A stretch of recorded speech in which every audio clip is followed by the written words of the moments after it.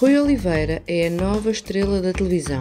Em poucas semanas conquistou o público, fez disparar as audiências da CMTV e não se fala noutra coisa. É caso para dizer, nasceu uma estrela. O sucesso repentino de Rui Oliveira apanhou todos desprevenidos. Como seria de esperar, começaram os convites para entrevistas e até a nova gente quis entrevistar o apresentador.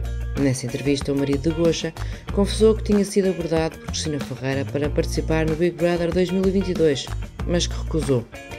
Na realidade, não foi bem um convite. No final do Big Brother, que foi apresentado pelo Manuel Luiz e pelo Cláudio Ramos, recebeu uma mensagem da Cristina Ferreira a dizer que já tinha falado com o Manuel Luiz e que lhe tinha dito que eu estaria a preparar tudo no monte para entrar na casa. E eu disse: Olha lá, tu queres matar o homem de susto?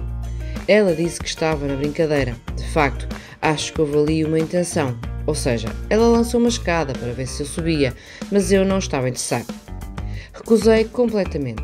Claro que eu compreendo a ideia da Cristina. Ela ia apresentar o Big Brother Famosos e seria interessante ter o Rui na casa e o Manuel Luís na assistência, não é? Era uma jogada inteligente. Pois é, Rui, nessa altura já se deu ao luxo de recusar uma participação que o ia tornar famoso no país inteiro. Mas ele sabia que lá no fundo não ia precisar do Big Brother para fazer sucesso. E estava certo. Ele próprio confessou que sabia que a sua hora ia chegar. Poderia tardar, mas chegaria.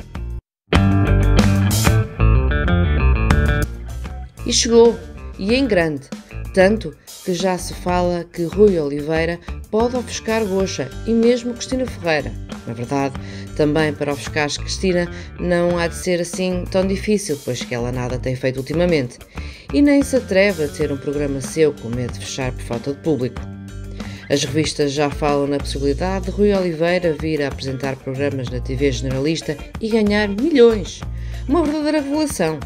Ficamos a aguardar por mais notícias enquanto Rui Oliveira continua o seu percurso de ascensão ao estrelato. Muito obrigada por assistir.